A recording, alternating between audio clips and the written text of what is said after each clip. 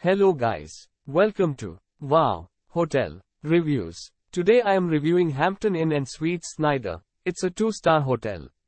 Please use our booking.com link in description to book the hotel and get good pricing. Hampton Inn and Suites Snyder offers accommodations in Snyder. Every room is fitted with a flat screen TV with cable channels. Some rooms feature a seating area for your convenience. You will find a coffee machine in the room. The rooms are equipped with a private bathroom. There is a 24-hour front desk at the property. Use our link in description to get special discount on this hotel. Don't forget to like and subscribe to our channel.